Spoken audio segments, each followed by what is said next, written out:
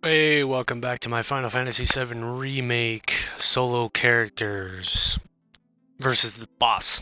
Versus the boss. Versus a boss. so now we have the fight against Reno and Rude on top of the plate pillar. I'm going to be using Barret for this one, um, simply for his tanky nature. Tifa would probably work really well on this one, and Cloud would probably do well as well. Um, Tifa with her mobility. It's a stark difference. It's a, a very interesting. With like Barret, you want to like you want to be tanky and stuff because like he's slow. He's kind of a slower moving character, but he can take a lot of hits. Whereas Tifa is like you know uh, weaker, but also very agile. Yeah, so it's really cool.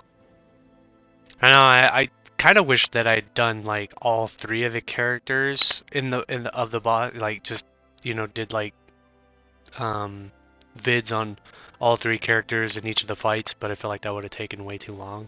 Probably might do that with Rebirth though, because I tend to spend a lot of time on that game. all right, let's get into it. Yeah, so overall, the materia setups is about the same. The only real difference is, is that um, I'm going to be uh, using poison and sleep at some point during the fight. And there's a reason for that. And I'll tell you when we get there. But for right now, just enjoy the cutscene because this is kind of like one of my favorite parts of the game.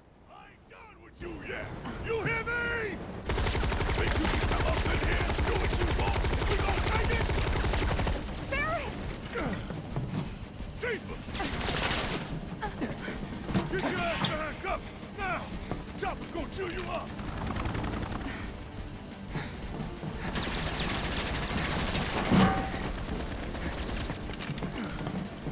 Still alive and kicking? Damn right. Leading man sticks around to the credit roll. So we gotta keep moving if we wanna make it that far. You ready? Yep.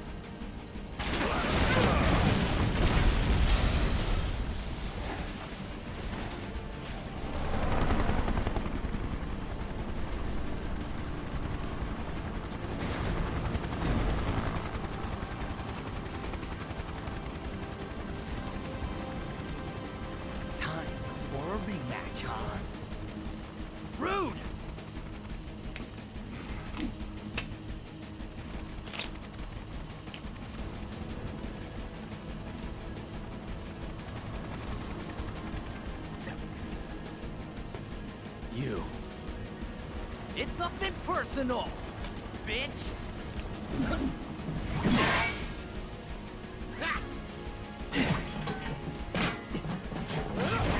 Miss me!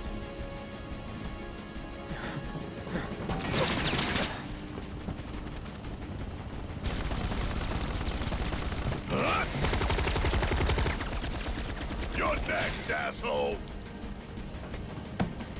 Sorry, losers. Gotta play for keeps today. No time to dick around.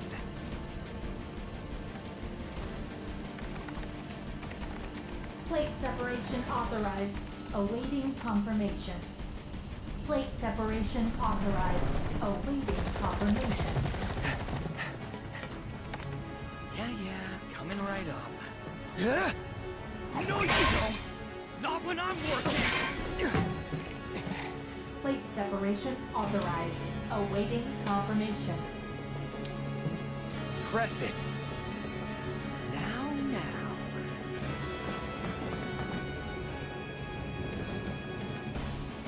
You ain't got shit on us. Ah, Barret does such a good job. The voice actor, they all do actually, in my opinion. So obviously we restart, uh, start with refocus, and this this the beginning part of the fight. It's not too tough, you know, three on one. Reno will tend to kind of, I don't know, like some of the bosses will like will focus on the character that you're controlling. I've noticed this. At least definitely uh, there's one in particular that always does. Like he will attack literally whoever you are controlling. So that's gonna be fun when I get to that that boss fight, but that's not till much later. Um, But yeah, over like like uh, Reno will he will attack like your other party members, which is kind of nice. Sometimes like you can get a breather there, but for the most part he will come after you. But like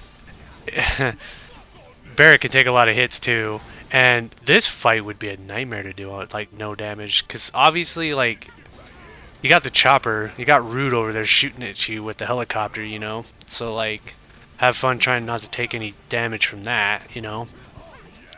So what I mostly did was just blocked his attacks and then um, just hit him with like focused or maximum fury to kind of burst him down. Then when you get to this part,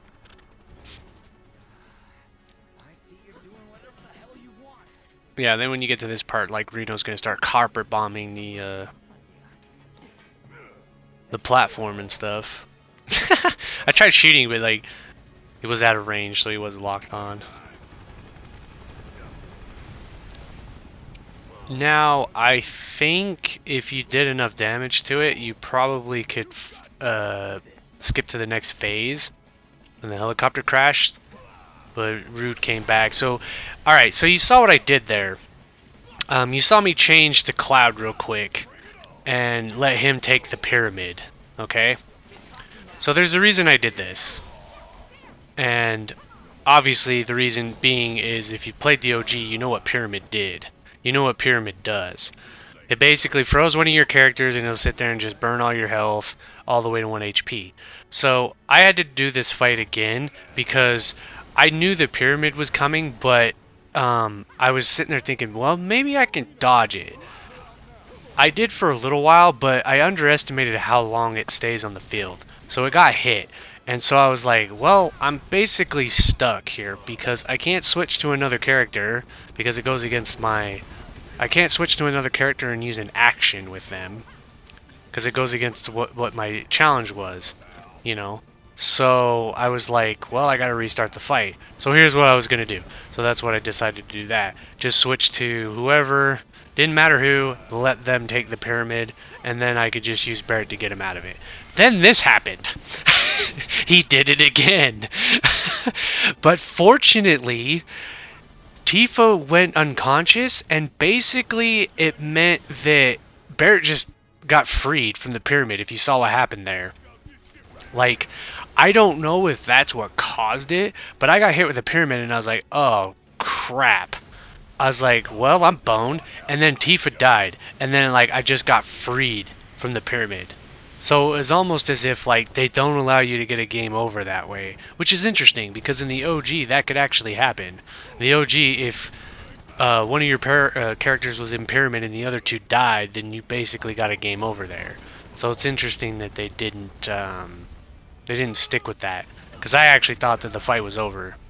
So now this is a true true one-on-one fight. Now it's going to be a two-on-one because now uh, Rude is now interjecting himself into the fight as well. And this is where sleep is going to come in handy. This is exactly why I used uh, why I picked sleep. Although I wasn't expecting me to be solo, solo. I was expecting my other characters to be alive there. But um, yeah, definitely. Um, I would say if you're doing that, just switch to one of your other characters and let them tank the pyramid, basically.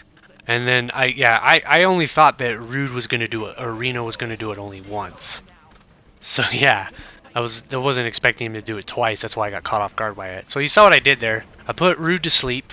So basically he's just he's out of the fight for right now, so I can focus. So now it's just a one on one with me and uh, Reno, which is just fine by me, to be honest. I would rather I'd rather uh, rather have Re uh, Reno than Rude. Although you could do one or the other. If you prefer prefer to get Rude out of the fight first, you can put Reno to sleep, I believe. And I didn't use poison at all. I accidentally. No, I, I see. You saw me pan the cam back because I was checking back to see if he, uh, if I woke him up because I hit him. But no, I kind of panicked a little bit. I was like, oh crap! I don't want Rude back in the fight yet. But yeah, you could choose who you want to put to sleep, basically, so you can just focus on one. And I'm still keeping an eye on Rude. Now I notice he, he's waking up now. So he's back in the fight now. Here he comes! And yeah, it would be a real problem if you had to take on two of them, especially with Rude's attacks. What he does, he he loves to be up in your face, and he also has the ability to like grab you and stuff, do like the little command grab abilities too. You really don't want to deal with that. So it's just best to like put him to sleep, let him take some naps. Yeah, plus who knows, like I'm pretty sure there's a double team attack there with that with that ability that Reno that Reno just did, the uh, binding current or whatever.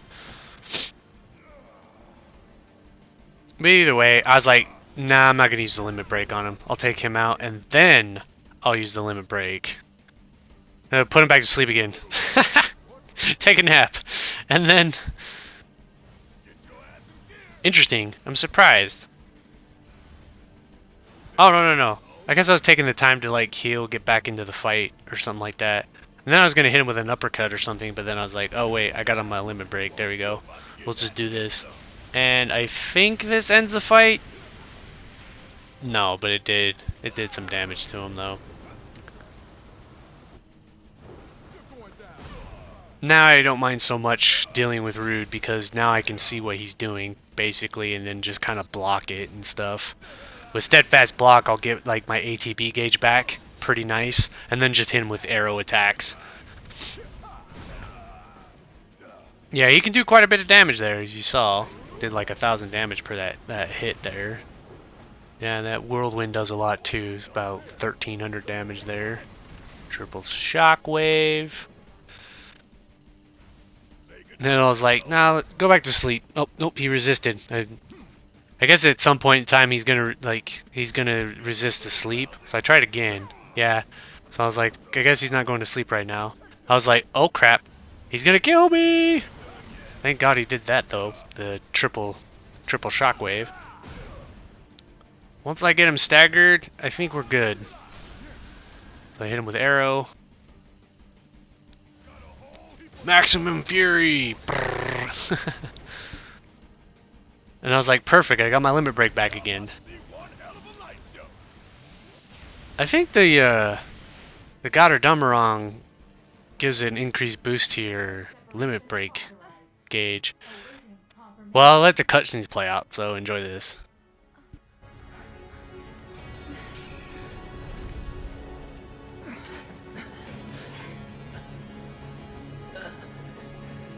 How do we stop it?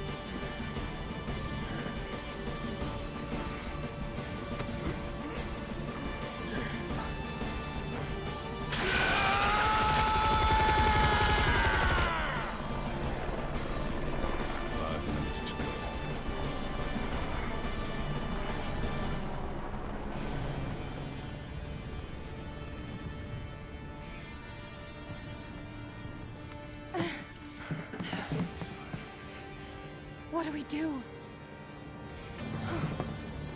Nothing. There is nothing you can do now. You can't do this! Eva! I found Marlene! Aerith! Marlene? My Marlene? What did you do with her? Where are you? I'm at the... Sir, sir. Your activities unwittingly brought you into contact with the Ancient, who is now back in our custody where she belongs. For this you have my sincerest gratitude. Alas, the sector in which you stand has been condemned. Ancient. Run! You have to go now! And where exactly do you expect them to go? Aerith!